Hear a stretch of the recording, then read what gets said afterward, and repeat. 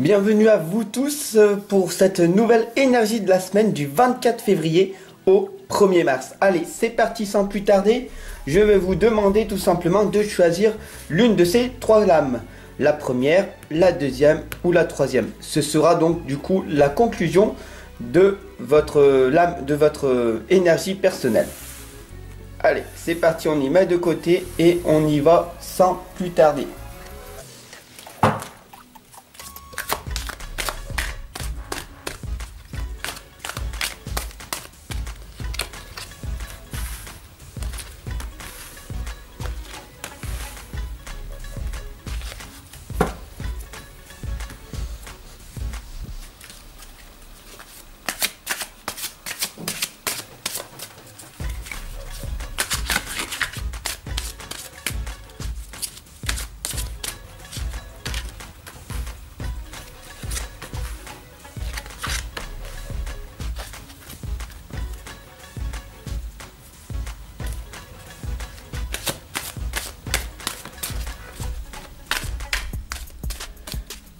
Alors, en ce moment, on nous dit que vous êtes dans l'abondance.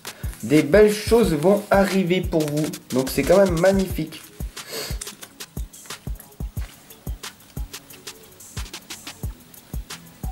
Par contre, alors, on va de belles choses vont se produire pour vous puisque vous vivez dans l'abondance, la magie de la, de la vie. Par contre, il va falloir faire preuve de patience. Ici, on l'indique parce que vous élaborez des projets mais sur du long terme.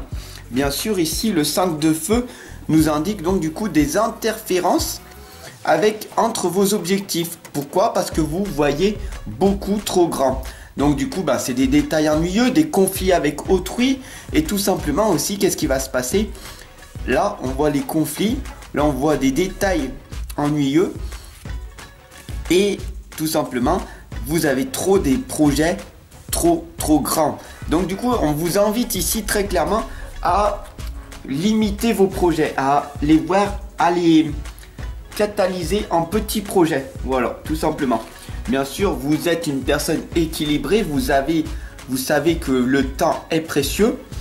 Vous savez que avec la lune ici présente qui nous indique les pyramides d'heures, qui nous indique très clairement que votre temps, il ne faut pas le gaspiller. Vous êtes dans l'équilibre, vous êtes dans le dans l'instant présent, mais vous avez vos, projets euh, qui visent votre réussite. Et vous avez euh, cette chose-là à l'intérieur de vous.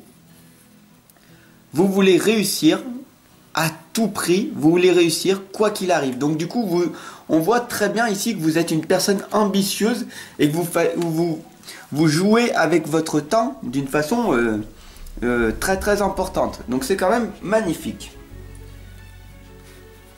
Bien sûr, vous savez, ici nous allons la, lame de la tromperie. Alors la tromperie, c'est une personne qui est dans votre passé, qui, euh, qui est à côté de vous, dans votre passé et qui essaye en fait de vous empêcher de vous de réussir.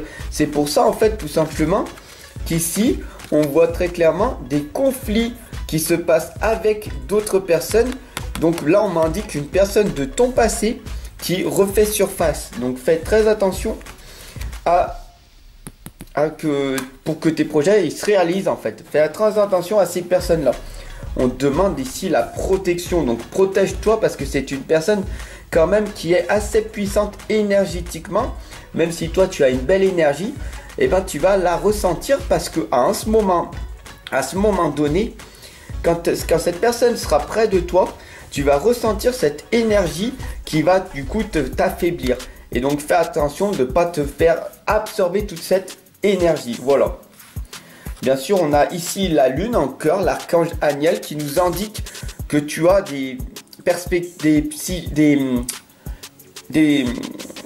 perspectives psychiques qui sont importantes. Du coup, ça me dit en fait très clairement que tu as, euh, comment on peut dire, des, des talents, du potentiel qui est en train de se développer là. Tu vois, on, voit les ailes qui s'envolent. Ça, c'est quand même magnifique. Donc là, on, on t'indique que tu es sur la bonne voie, Et donc du coup, qu'est-ce qui se passe? Ici, là, on voit une personne dans ton futur qui va pouvoir t'aider en fait, tout clairement, tu vois.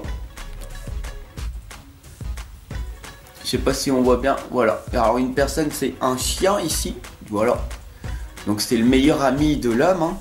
C'est une personne qui est fidèle à toi, qui te suivra de partout en fait. Et tu pourras donc du coup te fier à cette personne-là pour ta réussite en fait. Donc c'est quand même pas si mal que ça. On a Ariel, Uriel, le septième chakra, tu sais, c'est le chakra couronne. Donc l'énergie, elle est au top, au top pour toi en ce moment. Donc de belle énergie parce que tu as eu de très belles connaissances. Par contre, on t'indique de faire très attention à ne pas retourner dans ton passé. Parce que sinon, ben, tes belles énergies vont, tout faire pour que ton projet ne, réussisse pas. D'ailleurs, c'est peut-être pour ça aussi que tu as du mal à réussir tes projets, car tu te focalises beaucoup sur le passé. Bien sûr, on te demande ici de la reconnaissance parce que il faut avoir euh, le processus de la réussite. Tu es content d'aller dans le processus. Tu es une belle personne. Tu y vas dans ton futur. Et, mais n'empêche, sois-en reconnaissant. sois reconnaissant vraiment de chaque instant que tu as vécu dans le passé qui t'amène maintenant dans cette réussite. Et tout ce que tu es reconnaissant maintenant, qui plus tard t'amènera donc du coup vers cette reconnaissance. Bien sûr, ici on a les anges qui t'attendent, qui sont en train de demeurer, donc du coup ils, attendent ton appel. Est-ce que tu fais, est-ce que tu leur demandes l'appel? Là, on, voit que tu ne demandes pas assez honnêtement. Et là, on voit que tu demandes que pour tes projets de réussite personnelle. Waouh des, gros, des grosses réussites dans ton futur. Alors moi je voudrais réussir, donne-moi ci, donne-moi ça. Mais est-ce que tu les remercies tout simplement? Là ils t'entendent à moitié en fait. Et ils se disent ouais mais en fait euh, pourquoi il ne me remercie pas? Parce que nous on est là pour lui. Nous sommes son ange gardien. Nous sommes là pour le protéger. Donc c'est très important d'être dans la reconnaissance et de demander, c'est bien, hein. tout le monde sait demander, par contre, il faut aussi être la gratitude et de demander et de remercier pour toutes les belles choses que tu as eues aujourd'hui, hier, dans ton passé et dans ton futur. La gratitude, tout simplement, ça valide ton passé, ça apporte la paix aujourd'hui et ça crée une vision pour demain. Faut vraiment en prendre conscience. Alors, si tu as choisi cette lame, on t'indique le relâchement, la détente. Regarde un seul instant tu es une belle personne, mais tu es perdu dans ton passé. Dès que tu vas regarder dehors, dès que tu vas te poser, à un moment donné, tu vas t'affaiblir parce que tu vas repenser à ton passé négatif. Et là, on te demande du coup de méditer. On te demande de t'introspecter. Tu vois ici, tu regardes le passé, donc c'est le passif. Et là, on t'invite très clairement à faire une méditation. Alors si tu as choisi de faire la lame de c'est la synchronisation divine. Alors là, on voit très très bien que ton cœur, en fait, il est euh, en action, tu vois. Il est en plein milieu, dans l'équilibre.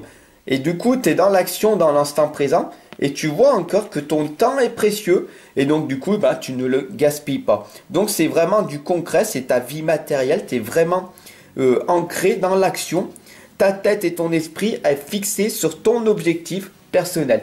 Donc tu es vraiment dans l'ambition et du coup ton projet il va prendre euh, forme euh, dans, le temps parce que tu es vraiment dans la concentration. Là on te demande de méditer parce que euh, tu, tu, fais trop de choses et là on te demande d'être dans l'instant présent. Ici là on t'indique l'archange Métatron. Alors l'archange Métatron, il t'indique très clairement que tu es dans ton équilibre.